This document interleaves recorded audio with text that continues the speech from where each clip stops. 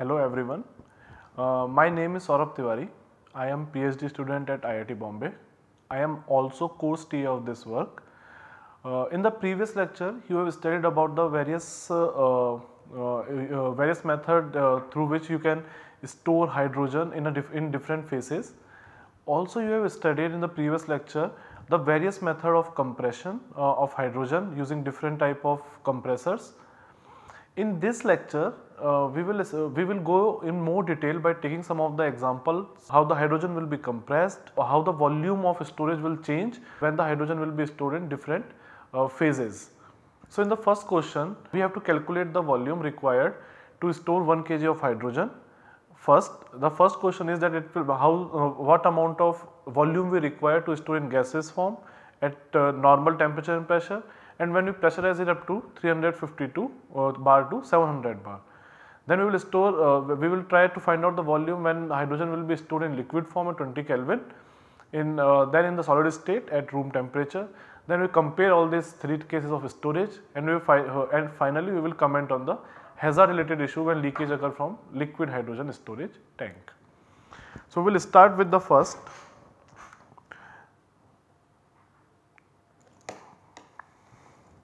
So, the amount of hydrogen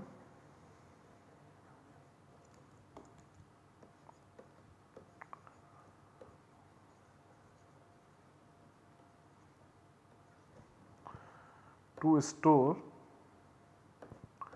is 1 kg. We will start with the first case at NTP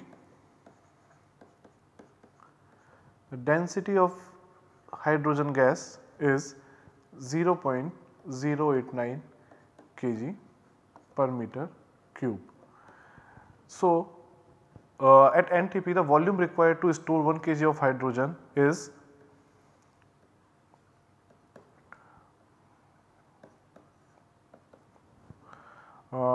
which gives us 1 by 0.089 around uh, 11.24 meter cube which when convert into liter gives us 11240 liter. This is the first case. Uh, when we pressurize this hydrogen up to a pressure of uh, 350 bar, at 350 bar the density of hydrogen gas will change and it, it will change up to 23.65 kg per meter cube. Now if we calculate volume from this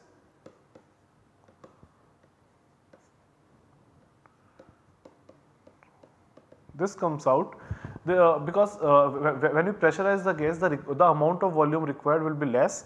So, now the volume comes out to be 0.042 meter cube which is around 42.28 liter to be exact. After that we will see at 700 bar the density of hydrogen gas is around 40.2 kg per meter cube which will give the volume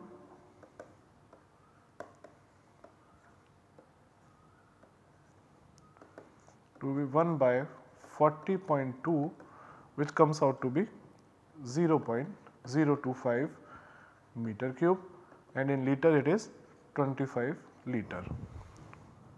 So, from here we have seen that when the pressure is increasing uh, from uh, room temp uh, from NTP uh, to 350 bar up to 750 bar. The volume to store 1 kg of hydrogen will be at NTP is 1124 liter 0 liter it is 11240 liter at 350 we have calculated as 42.28 liter and at uh, uh, 750 it is 25 liter. So, as we increase the pressure we have seen that the volume requirement will continuously go on decreasing. So, this is the uh, this is one of the method to store hydrogen. In the second uh, in the in the second question it is given that we have to store this 1 kg of hydrogen in liquid form. So, in case B at liquid form liquid phase the density of liquid hydrogen is 70.8 kg per meter cube. This will give us the liter uh, the volume required to store 1 kg of hydrogen as 1 by 70.8 which is 0.0148 meter cube which is around 14 liter. Now in the case C in the question uh, C we see that at solid state storage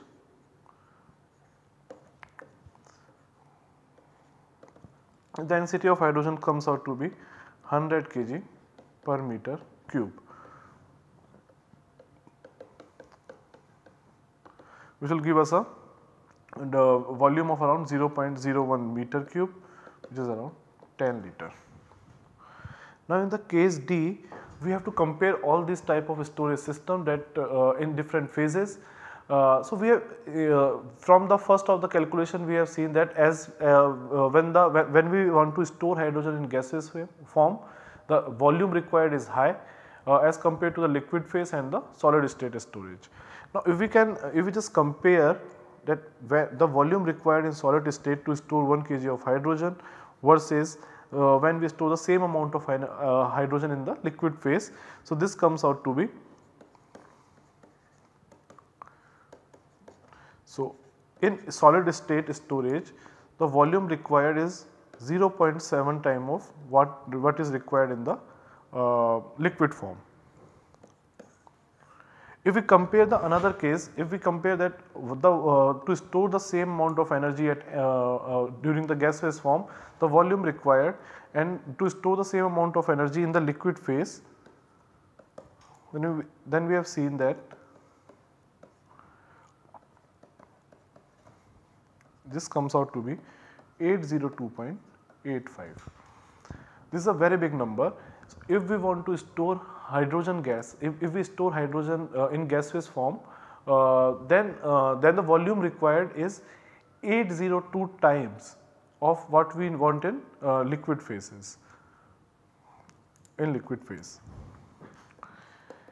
In the next, uh, in the next part, it is seen that uh, what, what is the hazardous condition which will create when the hydrogen will be leak, leaked from the liquid phase.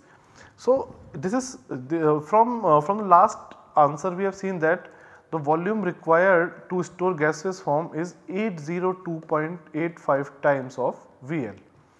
So, when they if we have a tank of uh, tank in which the liquid hydrogen is stored and if there is some leakage from this portion. So, the hydrogen will be uh, hydrogen will liquefy at a temperature of around 20 Kelvin.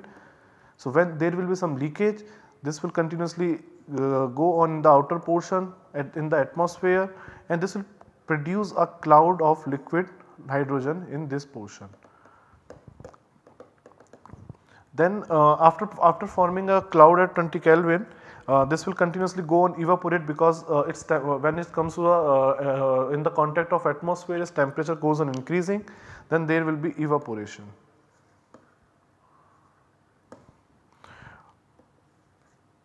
converted into gaseous hydrogen. If there is no ignition, if there is no ignition and there will be delayed conversion of uh, liquid hydrogen into the gaseous hydrogen, the volume occupied by this uh, gaseous hydrogen is around 802 times. So, what we have seen is if, uh, uh, if there is a tank in which the liquid hydrogen is present and there is leakage of liquid hydrogen, uh, so there will be initially the cloud of liquid hydrogen then it will start expanding which is known as the expansion ratio and it will expand up to a point of 8, 802.85 this times the, the, the expansion of volume is 803 times as compared to what is seen when it converted into the gaseous forms. So this will this will this will prove that the uh, how much the hazardous is the gaseous hydro, gaseous hydrogen when the liquid hydrogen is converted into gaseous phase. In the next question after seeing that what the volume is required to store a certain amount of hydrogen it is also sometimes important to compress hydrogen up to a higher pressure uh, so that there will be requirement of less volume in it. So, the compression of hydrogen is also a very important uh, topic that is covered in the last lecture by Professor Pratibha Sharma. Uh, so, for doing the for doing a small calculation how the compression is being done, the question is we have to calculate the work done to compress 1 kg of hydrogen from 1 bar to uh, 16 bar at standard temperature and pressure by assuming hydrogen as an ideal gas if this compression after that if if uh, uh, if this compression we will done in two stage compression that is initially we will go from 1 bar to 9 bar and then from 9 bar to 16 bar then we have to calculate the work done in this case also and then we compare the what uh, which one is uh, which which way is better to compress hydrogen up to this bar. So initially it is given that for the for single stage compression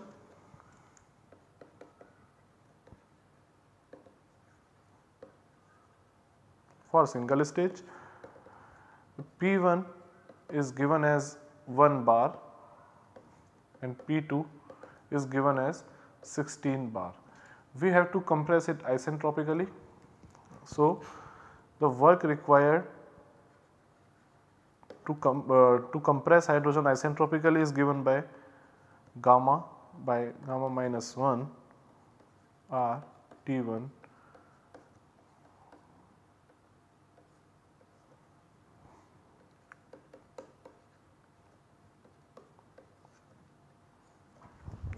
this is how the isentropical work will be uh, for uh, isentropically compression of hydrogen will uh, uh, will be described as the work done.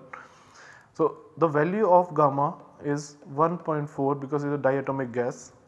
So, if we put this value as 1.4 by 0.4 into 8.314 uh, this is kilojoule per kilogram Kelvin uh, multiply by if it if, if it is an atmospheric temperature then 25 degree taken as 298 Kelvin. Uh, P2 is given as 16 bar and this one is 1 bar calculating it as 0.4 by 1.4 minus 1. Uh, if we uh, if we just if, if, we if we solve this uh, values we have found that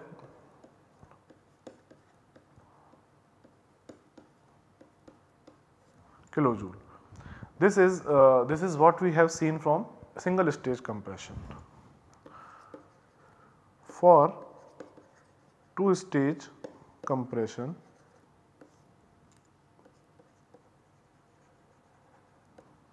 the isentropic work will be given by gamma by gamma minus 1 RT1 P2 by P1 gamma minus 1 gamma.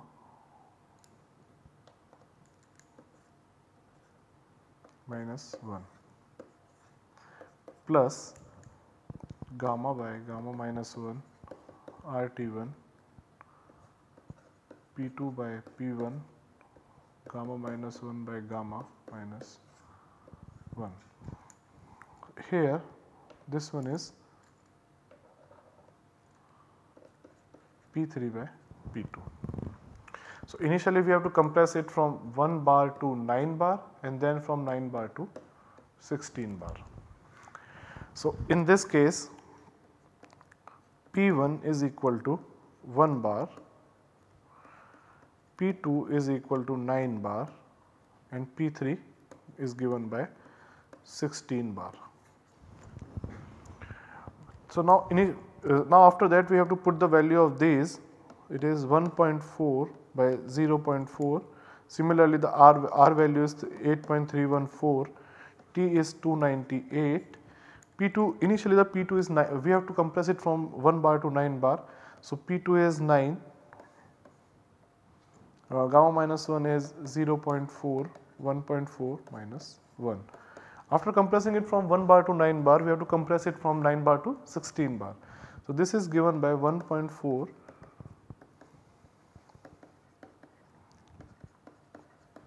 298 uh, 16 by 9 0 0.4 1.4 minus 1 if when we solve this equation this w isentropic comes out to be 9122.420 kilojoule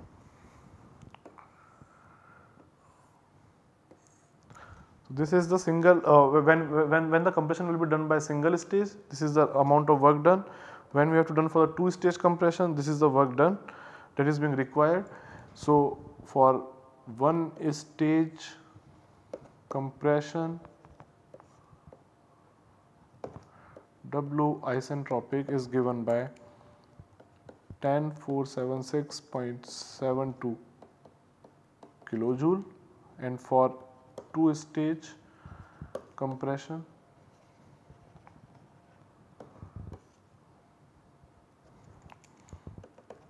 W isentropic is given by 9122.42 kilojoule. Now, if we see that if we uh, so from here it is seen that if we if we want to compress hydrogen from 1 bar to 16 bar and if we will done into by using the two stage compression the amount of work done required is lesser in case of two stage compression as compared to the one single stage compression.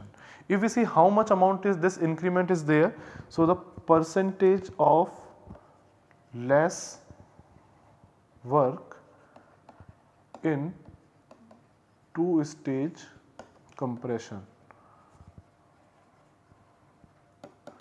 it is nearly about 14 percent. So, if we want to compress hydrogen from 1 bar to 16 bar there will be 14 percent less work we have to done in two stage compression as compared to the one single stage compression. The next is the next uh, next question is also about the compression if in, uh, if the process is isothermal that there is no uh, change in temperature so what is the amount of work that need to be done uh, to compress 1 kg of uh, hydrogen isothermally at standard temperature and pressure such that the final volume will reduce to one fourth of the initial volume. We have to also find out uh, the amount of heat evolved and change in internal energy.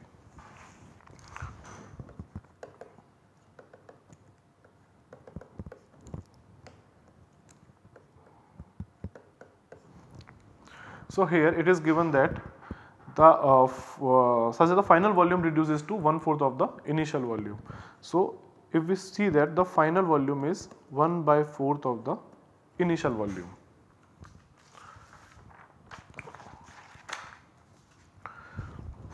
Okay. So, the temperature at we are assuming at 298 Kel the value of R uh, is around 8.314 kilo joule per kilogram kelvin we want to compress one K G of hydrogen so the isothermal work to compress this if hydrogen is assume to be as ideal gas is given by R T L N V two by V one from here V one is given by four V two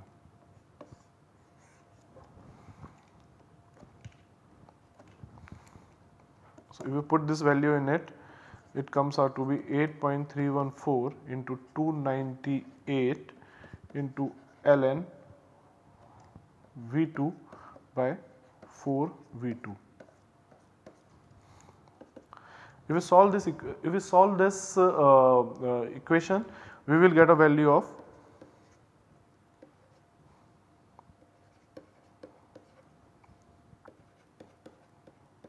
kilojoule.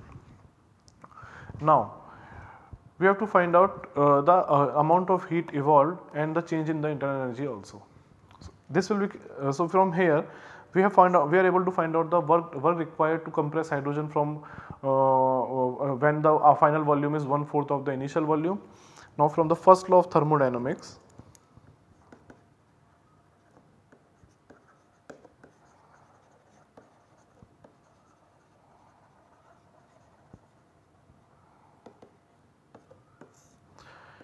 dq is given by du plus dw. Now it is given that the process is isothermal. So the change in internal energy comes out to be 0. So from here is given by dw. Now the work done is this